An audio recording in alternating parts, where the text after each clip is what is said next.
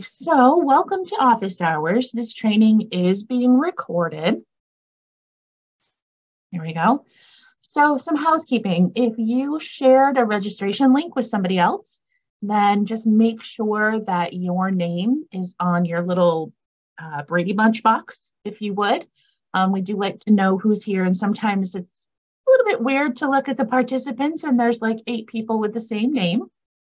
Um, and then, you know, we'd love to have you let other participants and us know who's here uh, just by dropping your name, position, and district in the chat. That way, you know, we all know um, who's attending.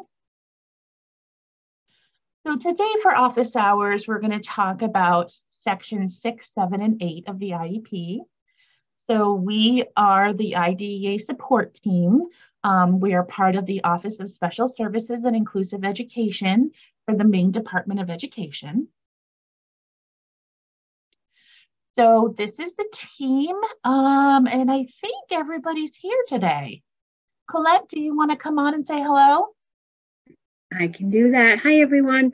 I'm Colette Sullivan. I'm the Federal Programs Coordinator. Um, before I joined the department, I worked as a special ed teacher for 30 years. Nice Thank to see you. you all. Thank you for joining us. Jennifer, you want to come on?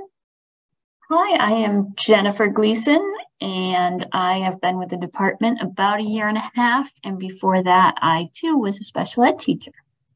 Thank you. Carly? Hi, I'm Carly Thibodeau. Um, I joined the department in July, and I was a teacher before that for 21 years. Awesome. Julie? I've been with the department for about six and a half years now prior to that, I was um, admin support at a K to five elementary school for 16 years. Thank you. And I'm Leora Byers. I'm a former special education teacher in an SPPS, and I joined the department four years ago. So here is our contact information. We'd love to get emails with questions, looking for guidance. Um, we'd much rather have you reach out and be able to, you know, give you some feedback um, about something uh, rather than have you do something in a non-compliant way. And, you know, so please feel free to reach out to us. We're all pretty good about getting back to people. Um, and we love to have people reach out. So today um, we did introductions. We're going to go through just a couple of sides of some links. Those of you who are with us for PD often, you will likely recognize these and already have them. Um, then we're going to go through section six of the IEP, supplementary aid services, modifications, and supports. We're going to go through section seven, which is special education and related services. And then we're going to finish things up with section eight, least restrictive environment. So um, after we are done today, you will, um, so at the very end of today, there's a QR code. Carly will come on and tell you all about it. But if you if you click on that and give us feedback and you put in your email address correctly, um, then you will get the procedural manual along with um, our IEP quick reference and a contact hour and muser and all sorts of wonderful prizes will show up in your um, in your email box.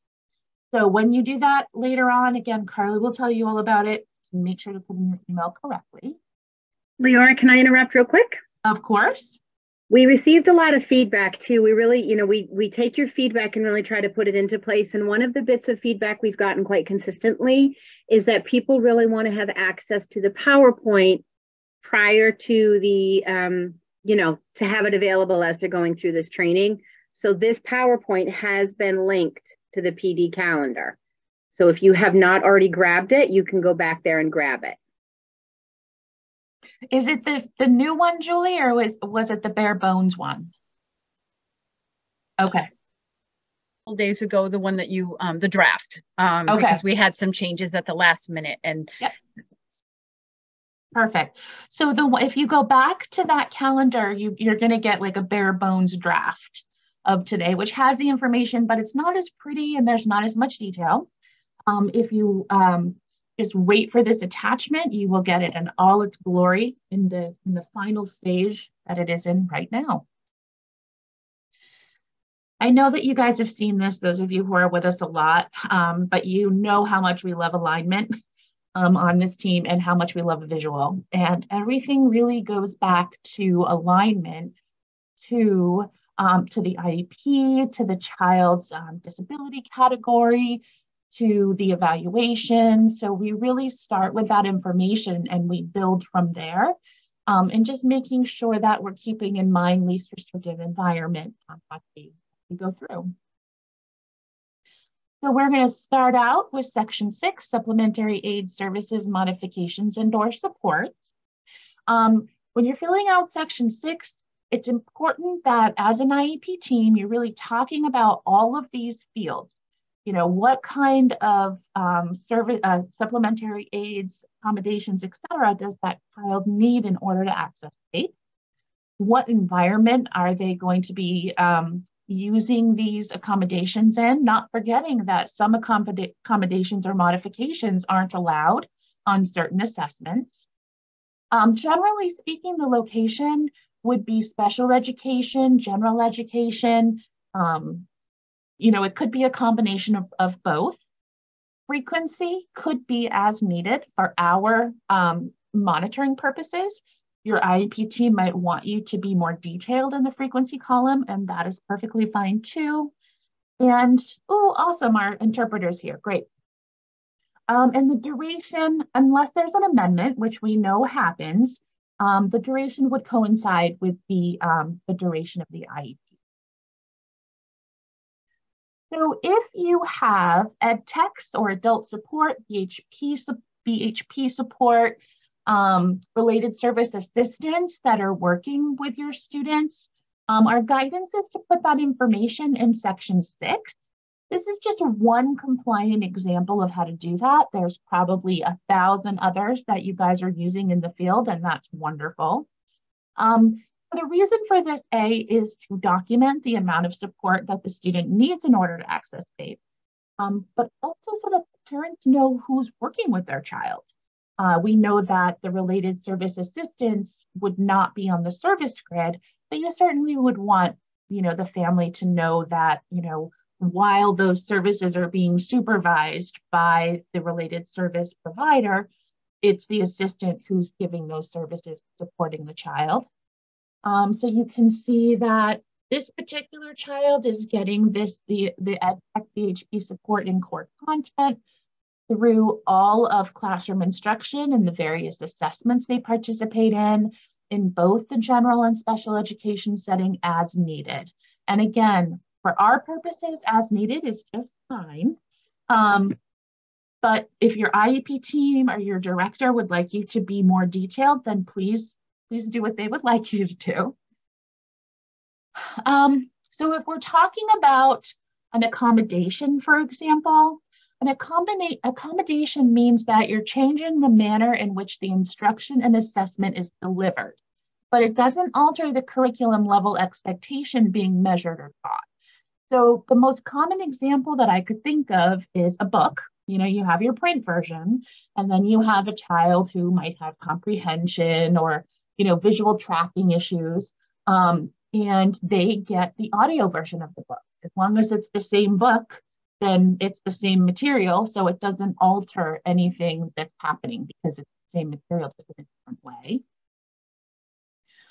So here are just some other examples. So um, there's this OSEP Ideas That Work website, and this is a PDF with a lot of information about um, both accommodations and modifications. And again, you guys are all special educators. I am sure that you could think of a million more accommodations, um, but these are just some examples. So um, allowing your student to take a test or do their work orally instead of, um, you know, written, um, additional time. Uh, peer support for note taking is another one, um, giving graph paper to, you know, for the child to be able to line up their math problems, um, record lectures, use a computer or a keyboard for writing. Those are just some examples of accommodations. So those would not change the material that the child is accessing. And then you get into modifications, and modifications change what student is expected to learn. So the changes are made to provide the student with opportunities to participate meaningful and productively with their other students in a classroom and their school learning experiences. And some examples could be um, changing the instructional level, changing the content or curriculum that the child is working on or the student is working on, um, looking at the performance criteria and adjusting that for specific students, um, or how the assignment is structured. So those are just some ideas. And, and just remember that the modification is actually changing what the student is expected to learn. So that would um, affect you know the content of assessments for instance they might not have the you know the base information that they would need um, so just something to, to think about and this came from shaker.org which i had not heard about but it's a it's a nice pdf that really details um, accommodations and uh, modifications.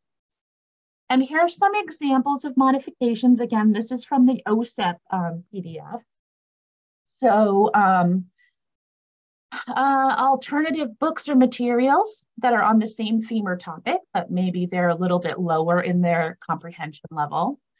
Um, using uh, spell check, having a word bank for um, answers to test questions, using a calculator on a math test, um, having film or video supplements instead of a, a textbook um, or you know differentiating how the child is showing you what they're learning how do they show you um, you know comprehension. So allowing them to do project-based learning instead of a written report for example. Or you know um, you know going through the text and highlighting the um, the key words and phrases so that they get those context clues like immediately when they're looking at it. Um, again, 100% confident that you guys are using a million other modifications. This is just an example. So when we're talking about other in section six, this is where you could put the C word, collaboration, but not use the word consultation. this is where, you know, when we talk about consultation is a service, so if it's not related to a goal, you can put it in section six. This is directly from the procedural manual. So it's talking about how the other could include collaboration, recommendations from related service providers. Um, so, you know, the OT could come in and show you how to set up a student's space. So that would be that collaboration piece, not directly aligned to a goal. So that's why we would put that collaboration, not the other C word, in section six as a supplementary service for that child because it's just the adult interacting with the adult on behalf of the child. So um, if you have supports that you're teaching the student, whether it's a self-regulation toolkit or just use different um, manipulatives to help them attend to their classes, please make sure that they're in section six of the IEP so that if that child goes to other classrooms, if they're not in a self-contained area, or even if they are in self-contained and you're out sick one day, that you know other folks have a very clear idea by looking at this document what that child needs in order to be successful. So we put this one like a sensory toolkit, a help card, a break card, a squishy, visual aids, check-ins, uh, reduce the number of problems to demonstrate proficiency. Again, just some examples, not an exhaustive list. If you are someone who works with multilingual learners um, and you have a student who has an individual language acquisition plan, also called an ILAP, this is our guidance about how you would document that in the IEP document itself. So this is for those students who are both identified with special education needs and with multilingual learner needs. Um, our guidance would be just to put the ILAP in section six, the individual language acquisition plan. The child would have um, access to that plan through all of the domains, assessments and instruction in both special ed and general education as needed. And that would coincide with the, um, the duration of the IEP as well. So we're going to go down to 6B of the IEP where we document what assessments the child is going to be taking. Are they taking the alternate or are they going to be taking the regular district assessment? So we started monitoring this section last year. Um, and we just monitored for whether or not 6B was blank um, because it can't be blank. This is a this is a, a big one, okay? So if you check yes, then you're saying that the child qualifies. So you're saying that the IEP team went through the participation decision flowchart and decided that the alternate assessment, the, the multi-state alternate assessment, is appropriate for that child to take. And that's great. That's awesome. So just put a little explanation, just of a couple of sentences about how the team came to that, um, to that um, decision. And then that child's academic goals require objectives. So for compliance purposes, we would flip back to 5A of the IEP and just make sure that those academic goals have objectives. So if the team determines that the child is going to take the alternate, then you know having that um, explanation in, in 6B about how the team used that participation decision flowchart and why the, and why that's the appropriate assessment for the child is required um, in that section of the IEP. There is the Muser citation if you would like to look it up. So then, you know, we've talked about citations before, you know, when we talk about section five of the IEP when we're looking at goals. If the child takes the alternate assessment, there are alternate academic achievement standards that would uh, be aligned to the child's academic goals. So you wouldn't align them just to the main learning results. You would follow this link right here and go to the alternate academic achievement standards. So these standards are aligned to the state academic content standards at grade level but they're broken down into much smaller chunks. Um, they provide access points to the general curriculum. We would really, we really encourage you to assume competence. Start with the highest possible standard that you think that child could um, accomplish, and then work your way down to, to where you think that the, to where the goal is for the child for the next year. Um, this you know, the, the alternate ach academic achievement standards uh, facilitate inclusion in the IEP, and they ensure that students are on track for post-secondary education or competitive workforce opportunities. So these are derived from those state grade levels. So these are derived from the main learning results. They're just they're reduced in the breadth and complexity. They're not a replacement of grade level standards. They're just smaller accessible steps to support the students who take the alternate assessment, the students who have the most significant cognitive disabilities, 1% population. So here is an example of what it could look like. So we have a goal about Lily. She participates in conversations, um, including but not limited to eye contact with the speaker, using text-to-speech device, to express your own thoughts in five out of 10 opportunities per week, per week right now. The goal is that within a year, we want her to get to eight out of 10 opportunities. She can do that. So the objectives are just smaller chunks. So you can see that this IEP goes to November. So it started in November. So by February, so that's like what a three month chunk, we're going to get her from five out, out of 10 opportunities to six out of 10 opportunities. And then we've got another chunk by May. We're going to get her to seven out of 10 opportunities. And you can have more than two objectives. I just gave two um, just for uh, example purposes. All right, you know how we love participation. So would like you to take just a minute and look at this section six and tell and and just put in the chat box what's wrong. What's wrong in this section six? There are there are three big ones. There might be more that I actually did unintentionally too. Oh, Renee, perfect. Not all areas are filled out. We can't have blank boxes. If there's something in the left column, it has to go all the way over to the right. Perfect. Anything else that people see?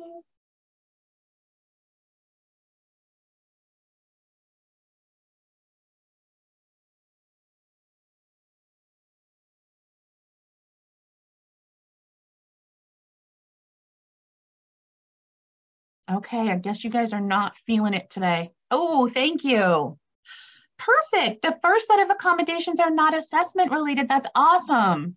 They're not because we know that, you know, especially on district wide assessments or state assessments, extended time, you know, frequent check ins, and outline prior to introducing the material, that's not going to work on those assessments. So thank you very much. Um, the other one, I fancied it up by circling it, circling everything. Um, the other one is that I really feel like if you're going to have a self-regulation toolbox, that there should be some details here about what is actually in that toolbox so that everyone's on the same page. Um, yeah, and then the projects not being allowed on the assessments and outlines not, you know, being allowed on assessments in those blank boxes. All right, thank you guys. So any questions in the chat box before we go on to section seven? I don't see anything, but I want to make sure I didn't miss anything. I don't see anything either, Leora. All right, we're going to move on then to section seven. Okay, so again, if you've been in our IEP trainings, this is a slide that you're familiar with. Um, that and we want to keep in mind as we do section seven that the child's needs drive their services and their frequencies, not the school or program schedule. And of course, the caveat is that we know that that is extremely difficult, especially when we talk about block schedules in high school and middle school. But it's really something that we should keep in mind um, as we um, you know, go through when we talk about least restrictive environment as well, for example. So there's some guidance on uh, MaineCare reimbursable services. So we have links to these training resources and to the recording. Um, if you need a, a fresh up of, um, of the KEPRO and how that MaineCare reimbursable services stuff works, this is a great place to, to find that information. And we also had guidance come back, uh, come out way back. Gosh, this is three years ago now. That seemed to go by awfully fast um, that BCBA services would be documented under other on the service grid, which totally makes sense if you think about it, because remember, we always talk about the service should be related to the goal, and BCBA folks are gonna have a goal, right? They're, they're working on specific skills with your student. So it makes sense that they would be under other and then that service would be So speech and language services are direct, meaning they're at the top of that um, section seven. If the child has a speech or language impairment, either by itself or as part of a multiple disability, or if the child is identified with autism and the speech language services are their only service on their IEP, in any other situation, um, speech language would be a related service. So when we're in section seven, we look for alignment. We look for the service to be in a goal and we look for um, it to be on the service grid. So we flip back and forth and make sure that there's alignment back and forth. So, um, and that's pretty much any time. This is directly from the procedural manual. So unless the child is in a self-contained program, you would definitely wanna have all their services listed. So I just gave some examples about how those given statements might look in, um, in section five of the IEP in a goal. So given SDI and ELA slash behavior support, or given SDI and ELA slash uh, or and OT consultation. Um, and that's because we get a lot of questions about how to document SDI in behavior support or executive functioning. And this is one way to do it, you know, because we understand that that behavior support or that executive functioning work is happening through all of the other SDIs. They're happening through all the other classes. So this is one way to be able to do that without having that behavior support at, at have its own line. So this is what it looks like on the service grid itself. You can see that we have ELA slash behavior support by the special education teacher. Because remember, it's the folks with certifications that can be the person responsible. So the um, special education teacher, the occupational therapist, the physical therapist, the speech and language pathologist. The location could be special education, general education, or both.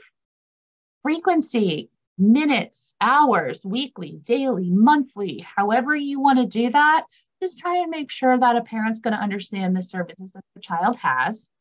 And unless there's been an amendment, duration would coincide with the duration of the IEP, except with extended school year.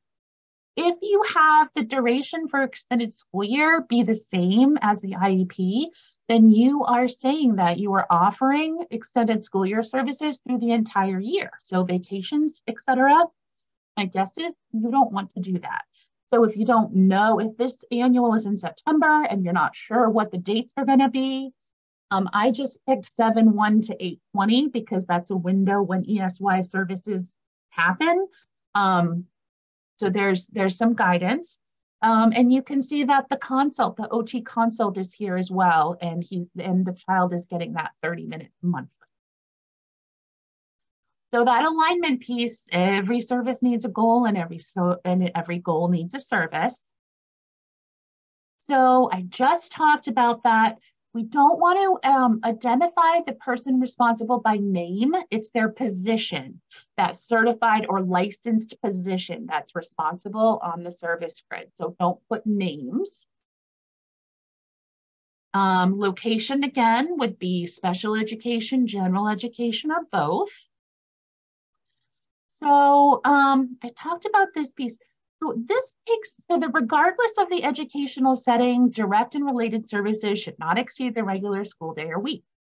Um, if you're, this comes into play most often with a self-contained room or with an out-of-district placement. Um, that's where I worked when I was a teacher. So my baseline for SDI on my IEPs was six, uh, five days a week, six hours a day for 30 hours a week. All of my kids got lots of related services. So if they had an hour of PT, an hour of OT, two hours of speech and language, then that reduces the SDI down to 26 hours because those other related services are going to take up that other time on the service grid. So it's all going to add up to that three hours. Um, the one slide that I just realized that I did not keep in here today is that when you're doing the service grid, you're writing the goals um, and the services based on the skill deficits. So we would not want to see goals in health or goals in social studies or goals in science.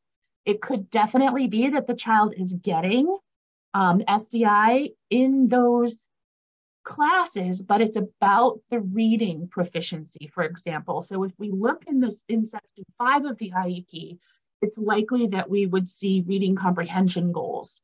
Um, just for an example, so the goals and the services should be aligned to the skill deficits, not the class that the child is taking. Hopefully that makes sense. I wish I had left that slide in. Okay. So this is what we're talking about, about the, um, the child's needs drive the services, not the school or program schedule. Um, this was a kid who has some executive functioning issues, specifically time management. This particular district has a guided study hall, an SDI guided study hall. So when looking at this information, we can see that the child is getting executive functioning, um, SDI and executive functioning by the special education teacher in the special education setting for 120 minutes a week. Um, if you go lower than that, that's an issue because you need to make sure you're providing what the service grid says. If you consistently go higher than 120 minutes, if the need is greater than that, then you might want to consider amending the IEP so it reflects the child's current needs. Um, but just keep in mind that the time that the child has for SDI is the time that they are working with the person responsible on the goal. So if they're just sitting in an SDI, you know, doing whatever, you know, playing a game on their phone or whatever, that doesn't count as SDI time because they're not working on their goals. So we just want to keep that in mind because we don't want to over restrict our special education kids. So here's a couple of examples and either one of these is compliant. So the first example is that the child gets reading in special education setting for 30 minutes a week. They also get reading as a push-in service. So this child is getting both pull-out and push-in services for a total of 50 minutes a week. You are absolutely compliant if you, or if the IEP team, or if you would like to do the upper example where it's a little bit more detailed, that's perfectly fine. For our purposes, you are absolutely welcome to put them um, below together in just one line. But again, talk to your IEP team about what they would prefer to see.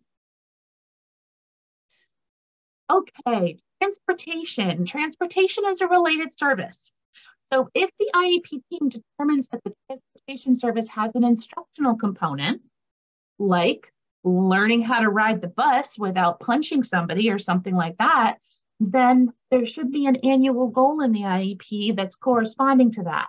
And if you think about it, if you have a child who has significant behavior issues and is no longer able to ride the, the general education bus and is now riding a special education bus, it is very likely that that child has a goal already on their IEP or, um, you know, maybe self-regulation, for example. So in that case, you could just amend the IEP and add, you know, during transportation or, um, you know, that type of a thing to the goal and then put it on the service grid so that you have alignment again between that goal for those teaching those um, behaviors about how to be safe on the bus in the service. All right, get ready because I got another quiz for you, but this is the last one for today. We're gonna, I'm gonna let, we're gonna go through LRE without a quiz. So can you please just, there's three that I know of on here, maybe there's more. Um, just put in the chat box, what are some errors that you see on this um, section seven? And Sutherland, you're absolutely correct. The boxes are not all filled in. ELA and behavior together is perfectly fine. If the child has SDI and ELA and has a goal and behavior or, you know, for functional stuff, then putting those services um, together is, is perfectly fine. Ah, the specific name, very good. Sally Smith, we want um, the special education teacher there. And ESY is the total duration, very good. And I think, yep, so the person responsible is the specific name, the ESY dates are the duration of the IEP, and the frequency for the OT consult. Awesome. All right. Anyone have any questions or want to jump in quick before we go on to LRE? I don't see anything in the chat box. So I'm going to move on, but you guys know if you put it in the chat box, we'll make sure that we answer it. All right, so nature and severity of the disability. So I bet Jennifer is cringing right now as I start talking about this. Um, you'll on the actual prompt on the IEP, it does not match what we're looking for. What we're looking for is a statement of the nature and severity of the disability. Jennifer is on the IEP committee. You may have heard this before. She is working to get that prompt changed the next time the IEP is updated. Um, but that's what we're looking for. And I do have an example, but I found this really interesting visual. And I liked it because it's kind of upside down to what we normally see for visuals with LRE. And it kind of made it made my brain hurt a little bit, but in a good way, because it's all interesting to start thinking about things in different ways, right? So that's why I included this specific one. I promise you it was not to confuse you. Um, so this particular example has the least restrictive environment at the top. That's the regular education classroom. So that's where you're going. That's where we want all of our kids to be, is at the top of their pyramid. Um, and you know, if you think about Maslow's hierarchy and all that, like we always want to be at the top and help our kids get there so they're living their best lives, right? So we, we just want to keep in mind, you know, with our kids all the time that they are general education kids first. And we want them to be with their general education peers as much as possible. So we always want to help them and boost them and get them to the top of their pyramid so that they can be with their um, general education peers. So here is a snippet for section eight of the IEP, least restrictive environment. So the percentage reflects the amount of time the child is with non-disabled children. And it's based on the physical environment, not the instruction. So that means that in practice, if you have a child who's getting all push-in services in the general education curriculum, their LRE could be 100% because they're with their general education peers, even if they have a modified um, curriculum or they've got lots of accommodations, it's about who they're with physically, not what they're learning. And we have an example. Susie's learning disability in reading and mathematics are to such a degree that she requires time in a more restrictive setting to receive specialized instruction to address her academic deficit. You can talk, tell, you can see that we name the actual disability. She has a learning disability in reading and math, and that they are to such a degree that in order to um, access her education for those deficits, she has to be in a different environment in order to do that. So what you don't see here are service times because we already had those in section seven, and this is literally one sentence. And there's probably a way to like take out, I don't even know, like four words and make it even smaller if you want to. So you can see that we're really not looking for a big complicated um, here. It can be the nature and severity of the child's disability. All right, any questions? Anyone feeling panicky like our question mark here? I hope not. Everyone's feeling okay because we're coming to the end here. We have our office hours. Um, next week, Carly is actually, well, I'm her backup dancer for this one. She's going to be talking about disability alignment. She's going to talk about the DIB ones. Um, and so that's going to be an interesting one. And then when we get back in January after vacation, when things, you know, start to get, they're really not getting sort of back to normal, but you, you know what I mean by that. We're going to talk about the transition from CDS to public school. We have Jody Basio Smith coming in at the end of January to talk about the alternate assessment. Then we get into transition plans and so on. So we really try to hit um, interesting things that you guys have requested that we do, but also the compliance pieces that, that we as a team look for as well. So it's, it's a little bit of a mixture of things. Here are the links to the resources, the professional development calendar, all of our recordings and PowerPoints, um, the special education resources, laws and regulations, and all of the required forms and reporting. All right, Carly, you're up. I suppose I didn't actually need to call that out like I was standing in your living room yelling into your kitchen. It's all good. Okay, so this is, oh, and let me, I'll put it in the chat. Um, this is the link to the feedback, feedback and contact hour form. Um, you can use the link or you can use your mobile device and um, take a picture of that QR code and it will take you to the form. Um, so when you're on the form, you're just going to put, you're going to select the training for today after you fill out the feedback for us. And the training today is just 12, 14, 22, and it's about writing compliant IEPs, section six, seven, and eight. So you'll see that as a selection. And when you are prompted to put in your email, just be careful that you spell it correctly so that um, all of those goodies that Leora talked about at the beginning can get to you.